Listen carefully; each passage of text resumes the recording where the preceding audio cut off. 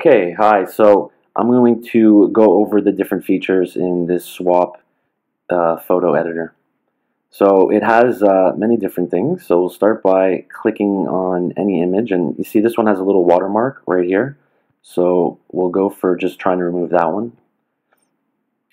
Um, so the software does a lot of different things. Uh, sometimes it can remove them, sometimes it can't. Uh, it tries its best. It tries to calculate the background color to blend it in properly. Um, it it uh, it'll try to find other similar images. Anyway, so you see on this one, it was able to remove it. Um, the the idea is that you should be able to do it in bulk, so that's why you can select multiple and remove them all at the same time. So I can undo it, by the way. So there's an undo button right here above every image. So if you don't refresh the page and just take a look, and if it's done properly, you don't have to use it. But if you don't, um, you don't like the result, you can click undo. So it brings it back to how it was. So you can do two at the same time. So if you click two and then you click remove watermark, you can go ahead and do both of those.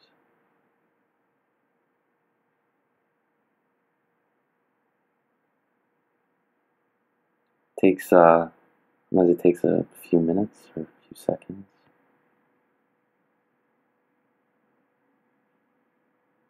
Sometimes it's faster than other times. There you go. So they both got removed, um, and you have two undo buttons. Um, so then there's some more complicated ones. So you can also try to do it on, let's say, these three. You can try to remove this one, this one, this one. They're all different. Um, so let's go ahead and try to remove those.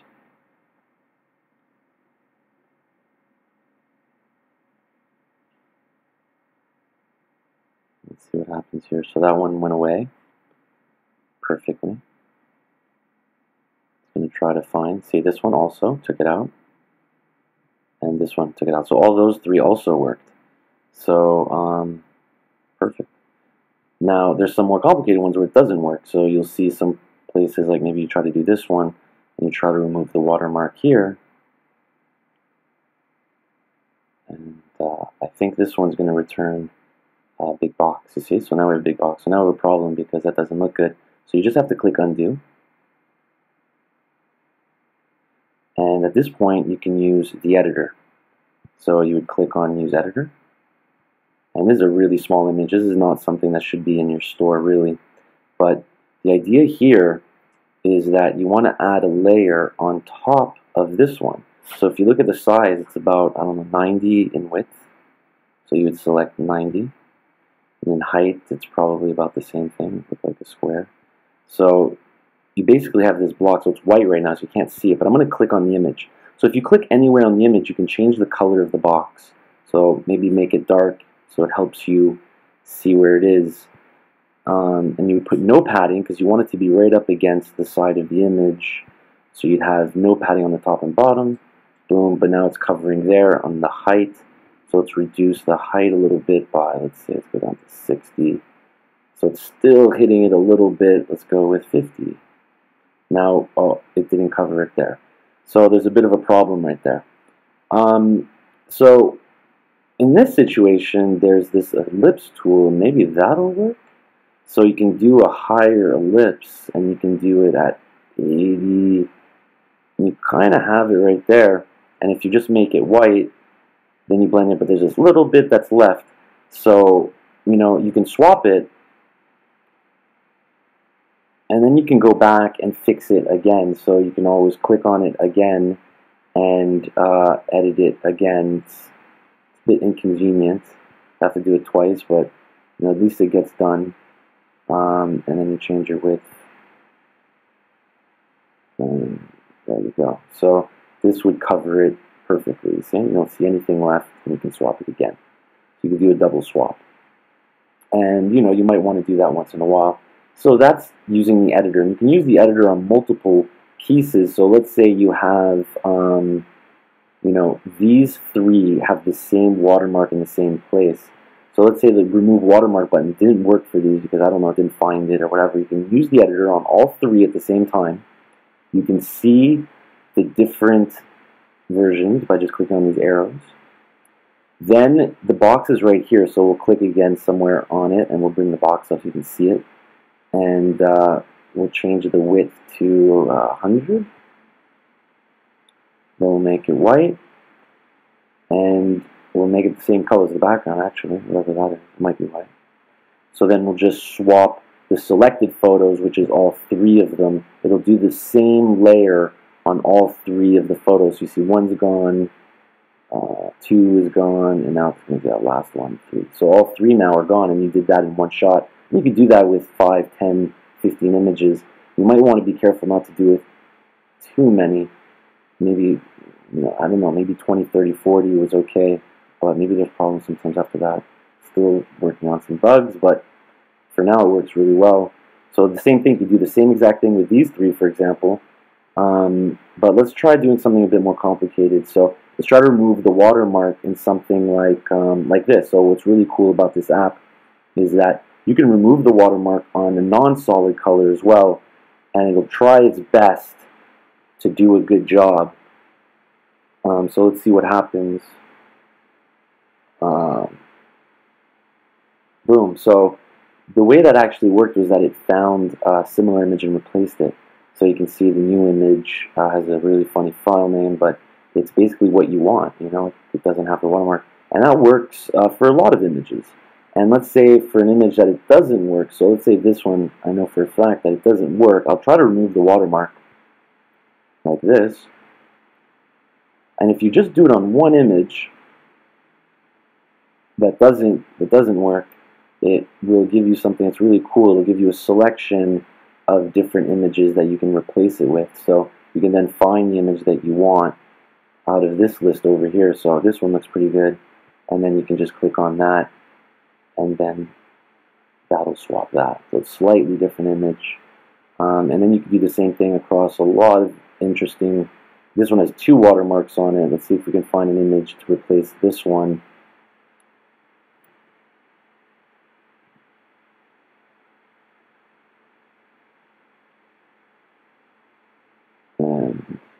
So it found this image right here you can use to replace this one with. And this one has no watermarks. It give you some other images that you could use. You can see the sizes here. Some of them are really small, so you got to be careful. Some of them are not square, so it depends on what you want. But you can make them square after, but that just adds a fill, right? So um, you can also crop them and whatnot. So then, um, let's say something. So that basically you can remove watermarks from kind of complicated images. Now, there's some images you can't remove watermarks, um, and that's just, you know, it just, it just can't. Some images will try to replace them, and it would have been better to use the editor. So you have to just use the different techniques in the different situations. Um, so then there's other things we can do, like removing backgrounds. So this one's kind of cool, is that you take an image, let's say uh, right here, and it's a complicated background because it has a gradient to it. So it's not easy, but you can see I was able to do it here more or less, and I can do it even better. But see, I'll go with removing the background. Step one, use the remove background button to remove the background. Let's see what happens. So then you see it left this, right? So it's not great. But then if you go into the editor, and so you see that there's, um, if you click on it, you see that there's actually a watermark here. So we'll take care of that one at the same time. So we'll say uh, the width is actually 240. So you can use the ruler, right? So 240 by 160. Then make that white. Then that's gone. So now what's left is basically removing this part. So to do that, you click on the remove color and you would click on the color and then right afterwards click on the image and choose the color. And that'll select the color for this box. It'll, instead of when you're selecting the color before it was changing this add layer color. But if you click on the color first and then select from the image it'll choose that color and then it'll remove it. Now you'll see that there's still like little lines left but we'll, we'll get that in the next swap. So we'll swap that and now you're left with an image that's almost perfect, that has just a little bit left. And then we'll do an editor on it again. And, um, and what's cool is we'll just get that little, click on that little line. Oh, that, that changed this background color. You see, so basically turn off the layer. So now if that's off and you actually click on the background, it'll it knows that you want to target this one. So it basically went pure white. You have you know very few issues, maybe a little bit here, but whatever. This would be passable. And you can change the threshold to lower medium to kind of get more color, less color. Like but you can you can play with that to kind of tweak it a bit. But in this case, medium works really well. So you would just swap that. And what's interesting is you can actually do that across several photos that are the same. So if you had multiple different photos that have the same type of gradient, you can do the multiple editor um, to get them all at the same time. Um, it's you know that should save you some time. So you could also uh, let's see. There's also a crop um, well, that's a bit scandalous.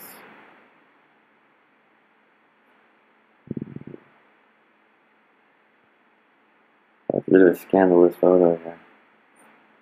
But this will show you that um, basically you could crop this photo by turning on the crop, turn off the remove color, you turn on the crop, you can crop its center uh, that's the sides to remove. So we want to move um, 300. So you could do something like remove 290, but I'll, I'll cut off her head. So you can start cropping a bit like this, but that leaves you with some, some black over here. So let's say you cropped it there, and then you could crop it again and again. So you could keep cropping out the sides to make it exactly what you want. So you could swap it, then crop only the left side by choosing the left crop button. So only crop out the left, you see, or only crop out the right. So um, yeah, so you could also try search web instead and see if something else kind of comes up. It's pretty smart. Yeah, you see, so even doing the search web instead gets you the crop version. Huh. So you don't even need to bother. So you could just do that. But that had an issue. You actually didn't allow me to replace it. Now this can happen because the file names are really sweet weird. So you see the search web button, that basically brings you back to where um, I was just at, and I want this photo here, but it's not letting me. I can try a different one. I remember which one I clicked on. Try this one. That one worked. So the other idea would have been to drag the photo to your desktop. So if you search web and then there's an issue, like replacing it. If there's ever you're using this and you can't replace it, um, because you can just take it and of course drag it to your desktop and then upload it manually with the uh, replace button. So there's an upload replace button here, so you can replace any photo. Um, you can also uh, you can also resize photos. You can use links. You can use a link. You can scrape a web page. Uh, if you just provide a link of uh, Shopify store, it'll try to find all the images inside of that page and you can swap this image with it. You can also center photos, so if they're um, if they're off center, you can fix that. Let's see if I have any that are off center. Uh, let me see right now. I can make one off center and I can show you if you use the editor let's say you crop the left by a little bit less. So now it's off center. See?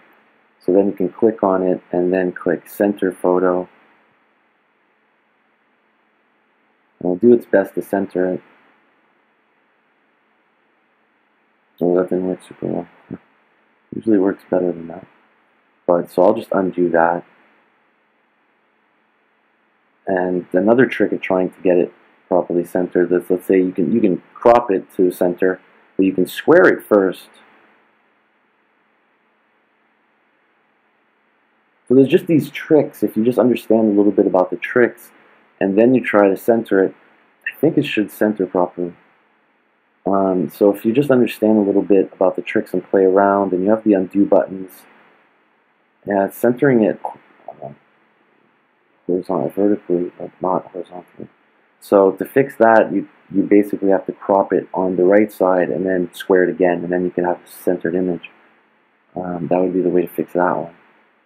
But the center should work pretty good on some other images. Center. Should slightly center it to the left. Center made it smaller. Interesting.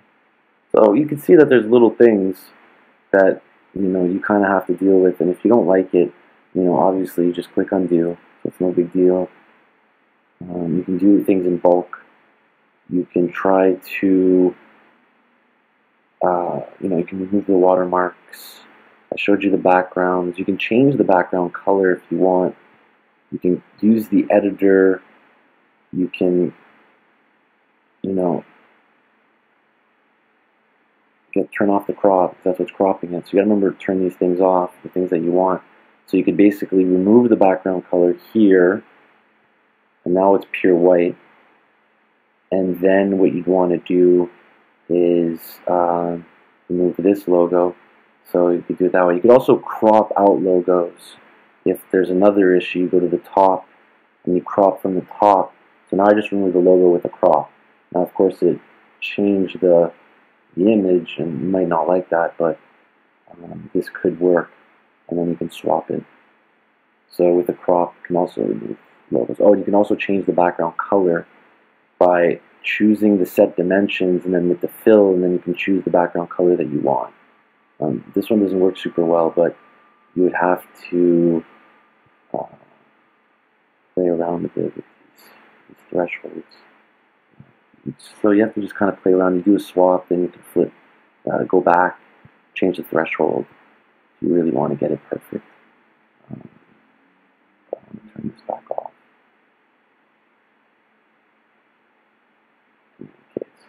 Uh, um, and you still have access to the undos, but if you change the page, the undos go away. So you can change your pages, you can choose the pages from here as well. So if you have a lot of, of photos, uh, you know, click um, on the pages maybe to skip. Also,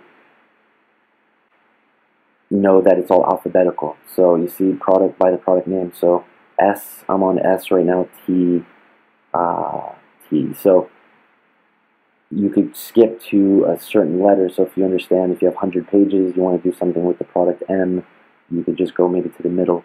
You can also choose your filters, which allows you to search for specific products. So if you just want to pick a product that's, um, you know, all your shirts, you could do that.